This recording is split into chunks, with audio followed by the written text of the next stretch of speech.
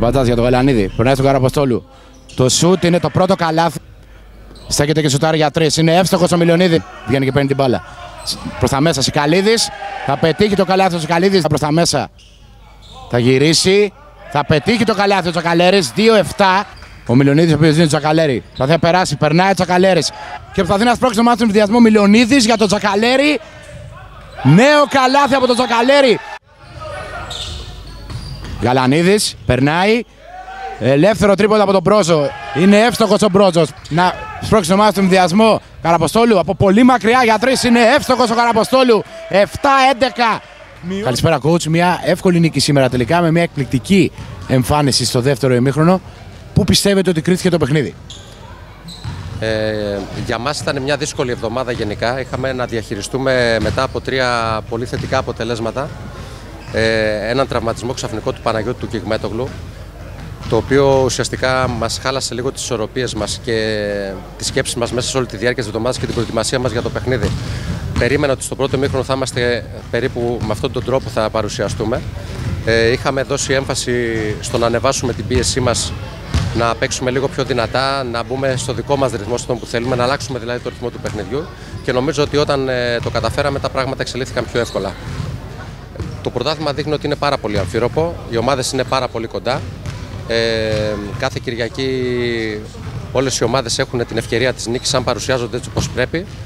Για μας ε, ο στόχος παραμένει η νίκη σε κάθε παιχνίδι και στο τέλος θα κάνουμε τον απολογισμό μας. Ένα δύσκολο παιχνίδι σήμερα απέναντι στην ομάδα του Ανατόλια. Α, είδαμε ότι στο πρώτο ημίχρονο καταφέρατε να βρίσκεστε κοντά στο, στορ, στο σκορ, όμως στο δεύτερο α, απομακρυνθήκατε. Τι πιστεύετε ότι, ε, ποια πιστεύετε ότι ήταν η αιτία γι' αυτό; Εμείς το παιχνίδι έτσι όπως το σχεδιάσαμε, καταρχήν δεν υπάρχουν. Όλα τα παιχνίδια είναι δύσκολα, όχι μόνο το.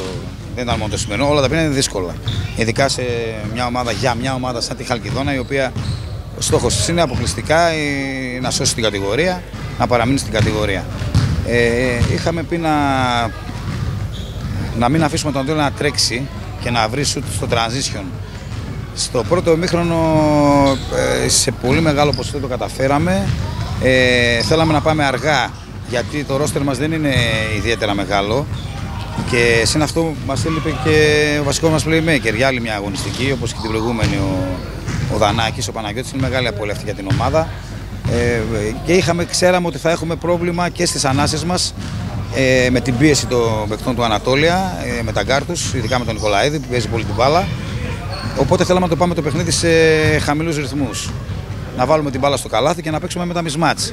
Στο πρώτο ημίχρονο νομίζω το ακολουθήσαμε πάρα πολύ σε μεγάλο ποσοστό το πλάνο αυτό.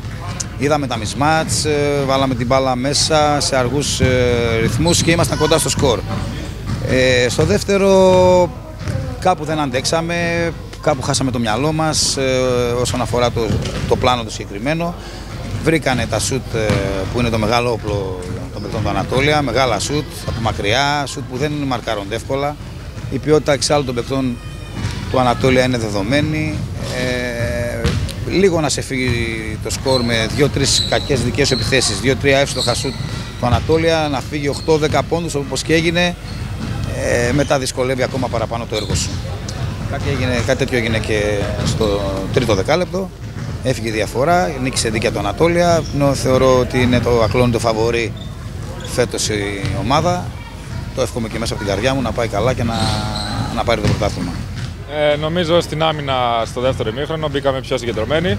Πήραμε κάποιες άμυνες, κάναμε στι επιλογές στην επίθεση και έφυγε λίγο η διαφορά. Και εκεί πέρα νομίζω τα πράγματα γίναν πιο εύκολα. Ε, θα προσπαθήσουμε το ίδιο συγκεντρωμένοι όσο ήμασταν σήμερα, κυρίως όσο είμαστε στο δεύτερο ημίχρονο. Και νομίζω ότι θα τα πάμε καλά και τα αποτελέσματα θα έρθουν όπως τα θέλουμε. Βάλε στα χέρια του Καραποστόλου.